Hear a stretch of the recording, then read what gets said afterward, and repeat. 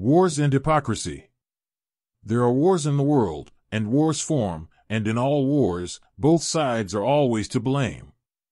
It seems strange to say that it's both sides' fault, but there's a saying, when one doesn't want it, two don't fight.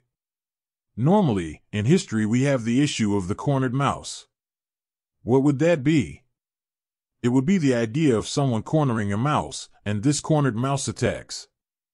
Pacifist concepts like that of Mahatma Gandhi are solutions for the absurd reduction of deaths.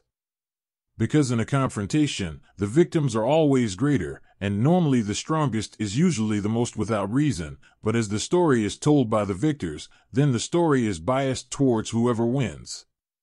One example is the destruction of the indigenous population of the Americas in which there is a justification that ignores the malignancy of the suffering and death of populations that were decimated. Another example is the dropping of nuclear bombs on Hiroshima and Nagasaki, in which there were deaths of pregnant women, children, elderly people, hospitalized people. But as such an action was produced by the victors, the malignancy of the action is reduced. The point is always that no matter how much you want, the weakest will always receive the condemnation, as they will be part of the losing party. And this is the clear factor in the hypocrisy of war. And every war exists even before what is called war. Because the so-called Cold War is a war, as violent as the war that claims to be active. So, if I take away food from a people, or approach a region with weapons, that is the action of cornering the rat. There is a fundamental maximum principle of all things about good and evil.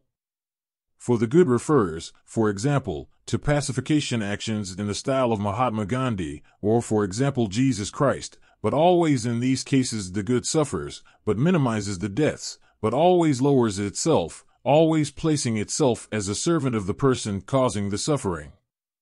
And this can be considered something unacceptable for the enforcers of justice.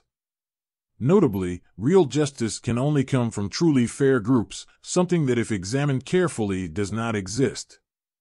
Thus, if there is not a universal judgment system somewhere in the universe, no matter how one thinks or how one acts, there will be no real justice. It will never really be applied, and in the end the most unjust will always end up dominating, as justice will be biased towards the side of those who legislate, and not towards the side of the other. And this is the hypocritical foundation of wars.